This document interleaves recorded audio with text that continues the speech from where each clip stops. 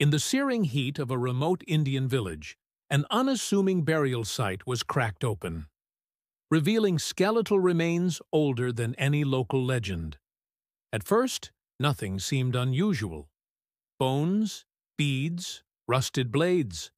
But when the remains were sent for analysis, scientists uncovered a secret encoded in the very bloodline of the ancient dead.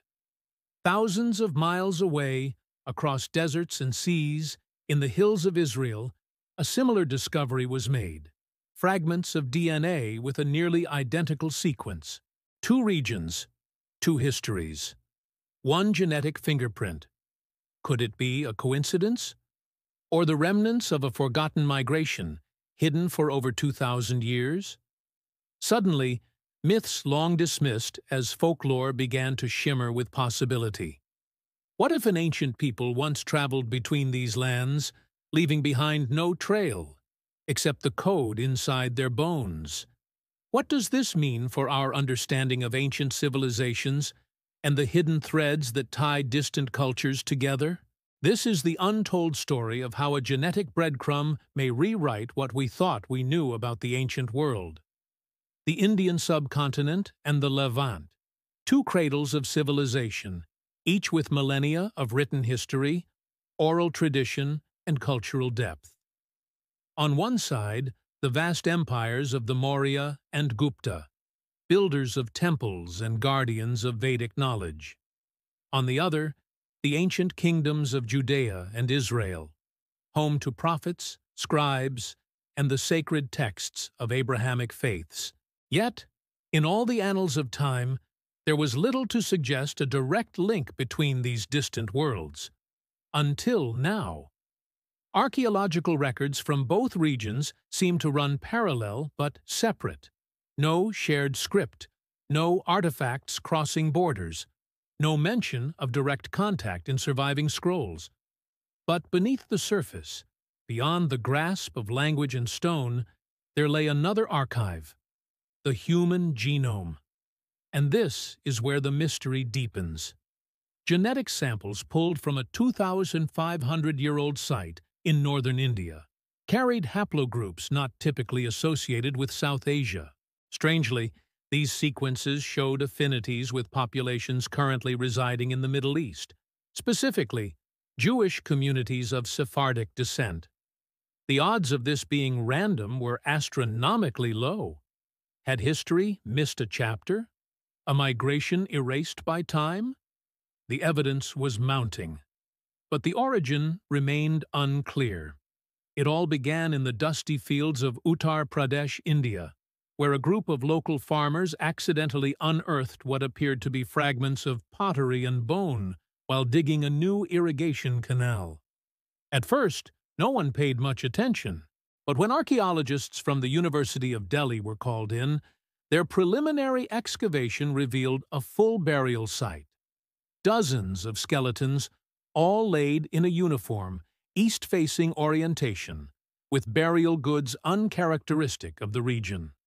One skeleton stood out. Preserved better than the rest, it belonged to a young adult male, adorned with a copper pendant etched in a geometric pattern not native to any known Indian artifact style. Intrigued, researchers sent bone samples for radiocarbon dating and DNA sequencing. What they found shocked them. The mitochondrial DNA, passed down through the maternal line, showed markers not typically seen in South Asian populations. Instead, it bore similarities to genetic profiles found in Middle Eastern Jewish communities. This was not a mere anomaly. It was a genetic whisper from the past, hinting at a migration, a connection, or perhaps an entire community that history had forgotten. The puzzle had been opened. But who were these people? And what were they doing in India over 2,000 years ago? The discovery ignited a firestorm in academic circles. A joint team of geneticists historians and archaeologists from India, Israel, and the U.S. was quickly assembled. The goal, to trace the genetic anomaly and uncover its origin. Researchers began comparing the Uttar Pradesh remains with DNA databases from ancient cemeteries in Jerusalem, Safed, and other regions historically occupied by Jewish communities. Initial results confirmed the unexpected, a significant overlap in mitochondrial haplogroups. But this alone wasn't enough. The scientists needed context, evidence of cultural, linguistic, or trade interactions that could validate a human connection between these distant regions. Yet, ancient texts were silent. No inscriptions, no records of Jewish settlements in that part of India from that period. Some experts argued it might be a false positive, contamination, or a rare mutation. So the team turned to more advanced techniques, isotope analysis to determine geographical mobility, and proteomic profiling to examine diet and environment. Even more skeletons from the site were tested. The findings were consistent. The same genetic link kept emerging, pointing to a small but genetically distinct group, Middle Eastern in origin, yet buried deep in Indian soil. The deeper they looked, the clearer it became. This wasn't an isolated burial. It was the tip of something buried much deeper in time and history. Using next-generation sequencing, the team managed to reconstruct large portions of the ancient genome from the remains in India. The results were astonishing. The Y chromosome haplogroup, a marker passed through the paternal line, was identified as J2, a lineage commonly found among Jewish populations, particularly those of Sephardic and Mizrahi origin. This was the second genetic match, and this time it was conclusive. But the breakthrough came when researchers compared these sequences to ancient DNA extracted from a 1st century CE burial site near the Dead Sea. The match was not just statistical, it was familial. The individual buried in India was a genetic cousin, separated by only a few generations, from someone interred thousands of kilometers away in ancient Judea. Isotope analysis further confirmed that this person had not lived his entire life in India. Traces of strontium in the teeth pointed to early childhood spent in a different geological region, consistent with the terrain of the Middle East. This wasn't trade, this wasn't conquest. This was migration, or exile. And it happened at a time when history records major upheavals in the Jewish world, the Babylonian captivity, Roman displacement, and internal diasporas. The bones in India were no longer just a mystery. They were a genetic bridge between two civilizations, one buried, the other still discovering its past. Picture this. Around 2,000 years ago, a small group of travelers leaves the Levant. Perhaps they were merchants, scholars, or refugees fleeing persecution. They carried with them their language, their customs, and their sacred scrolls, traces of an identity forged under the sun of Judea. Their journey was long, dangerous, and largely undocumented. But it was real.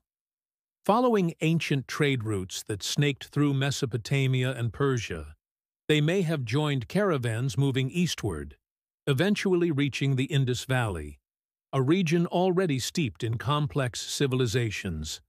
There, they settled, isolated but resilient, preserving fragments of their origin across generations.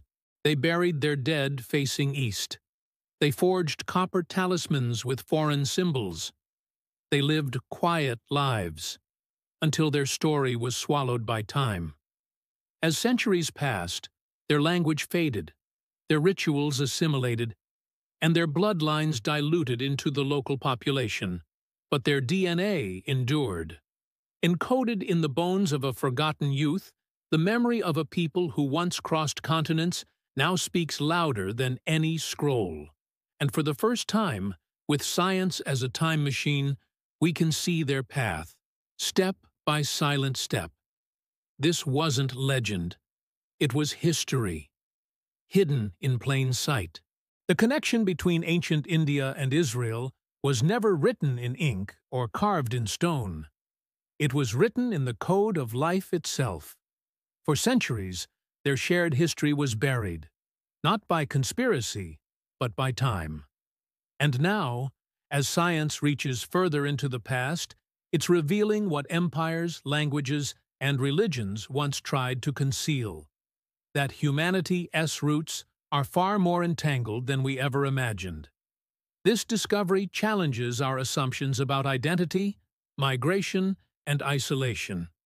It tells us that even in the ancient world, borders were more permeable than we think, and that history isn't a straight line, but a tangled web of forgotten footsteps. Who else crossed these ancient paths? What other secrets lie in the dust, waiting for DNA to speak on their behalf?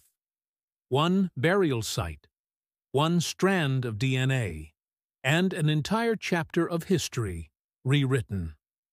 If these stories captivate you, don't forget to like, subscribe, and turn on notifications for more astonishing revelations that bridge science, history, and mystery.